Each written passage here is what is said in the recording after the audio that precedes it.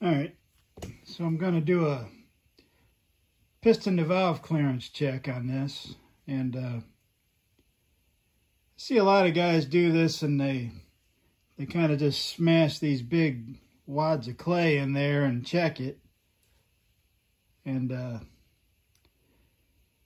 I used to do that when I was first starting out and my dad had a real problem with that. He seemed to think that there was a chance that that would cause some damage.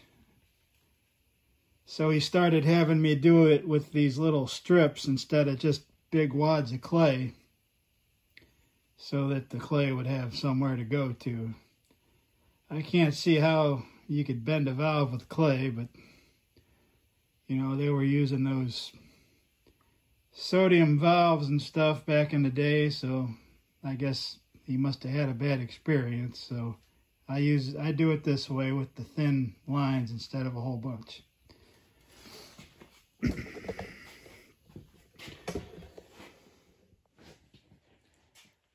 so we got our you know these are our checker checker springs I call them. I don't even know if that's what they're called.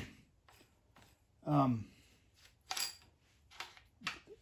what I'm going to do is we're going to roll this over and I'm going to check there's clay in there and we're going to check the piston to valve clearance. This is also a good time to figure out your push rod length. Like, I guess on our, if you have a set of our rockers, the way they're designed is when the push rod length is right, it should look like that. This adjusting nut should be just flush with the top of the threads, like plus or minus a half a thread or so. So I know that uh,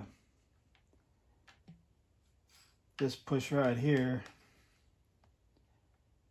let's see.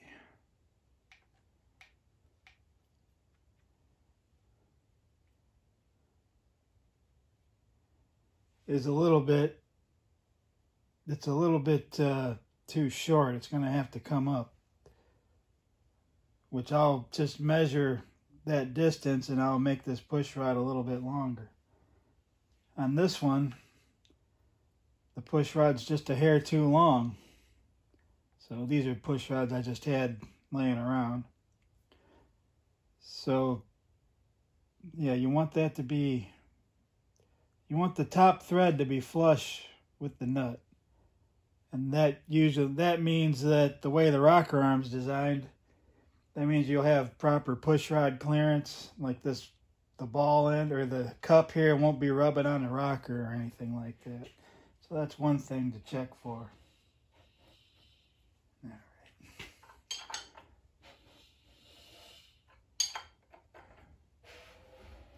I one spark plug in there and it's got some compression building up already. She's pretty tight. Yeah, there's compression.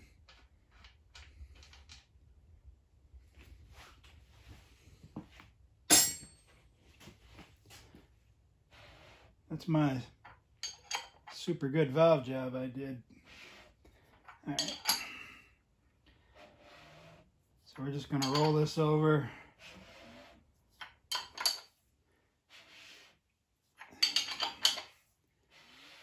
And right here is where the piston to valve clearance comes in, where the things that split overlap.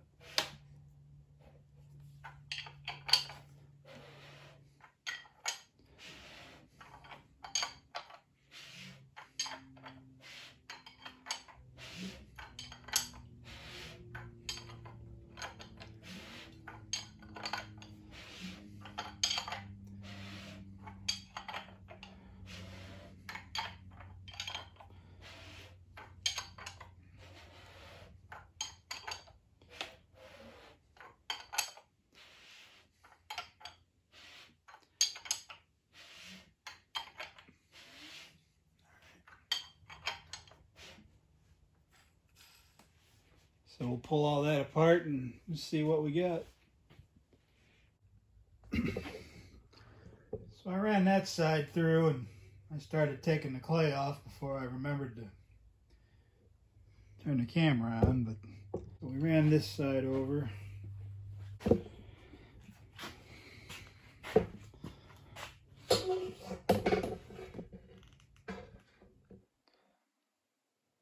It's just barely, barely touching the clay over there on the exhaust side and the intake side. It's the intake side. It's pretty low, but it's still over. I could tell that's a. Oh, let's see.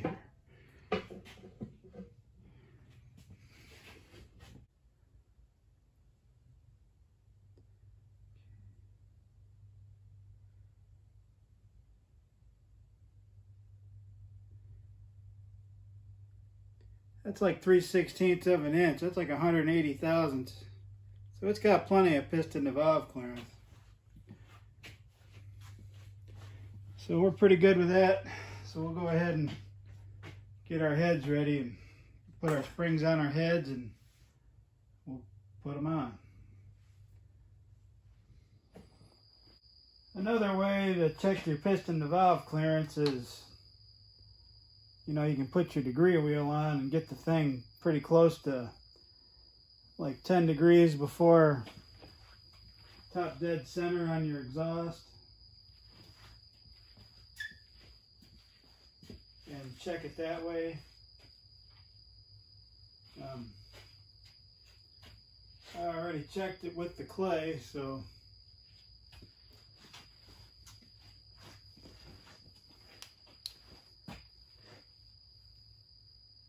looking at it, that looks like it's about close as it's going to get. see here.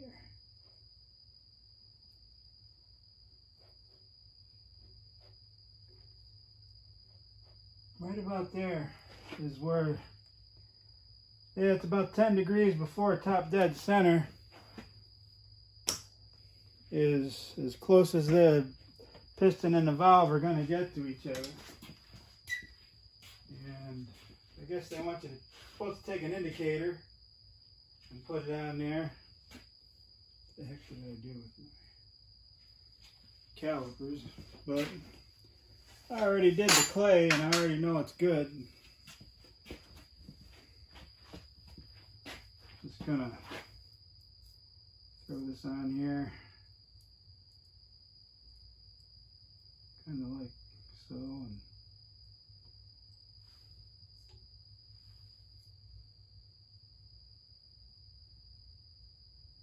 one inch 685 and we'll open it.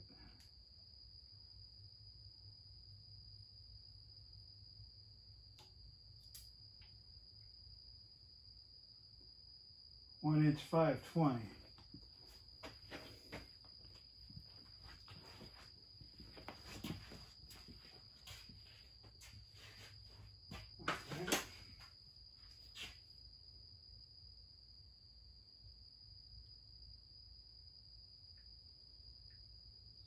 1.685 minus 1.520. It's got 165 thousandths of piston to valve clearance on the exhaust. The intake, we don't, I don't really give a crap about that. That's, it's so far out of the way, it'll never hit.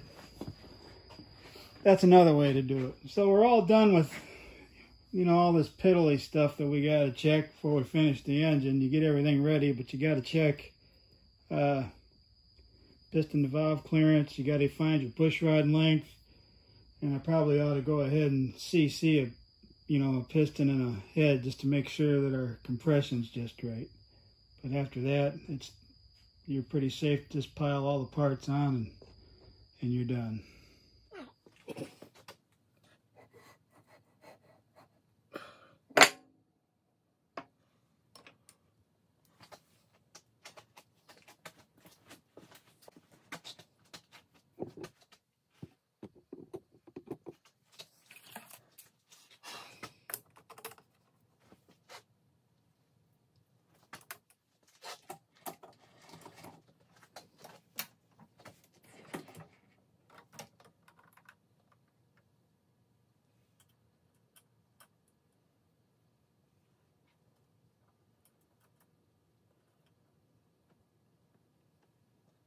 Mm-hmm.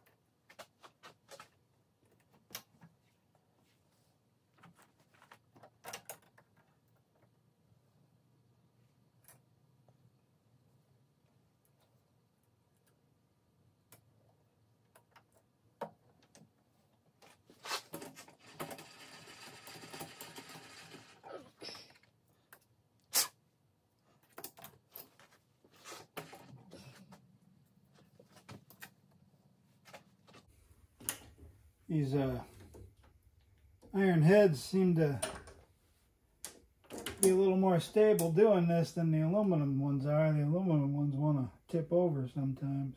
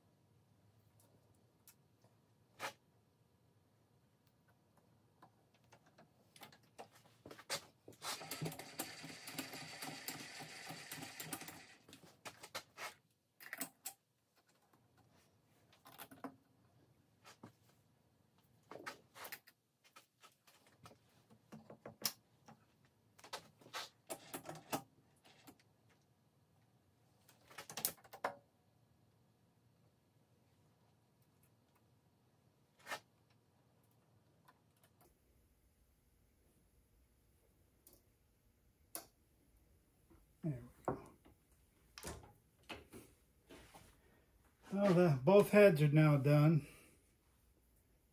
and ready to go on.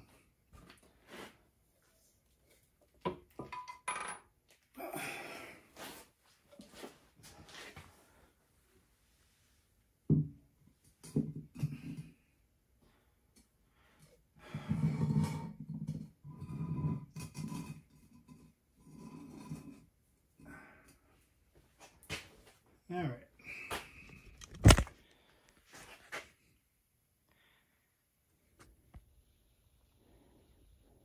So we'll uh, clean those up a little bit, wash them down, and put them on. We can close the book on those. Those heads have been, probably have been apart for decades, and we got them brought back to life.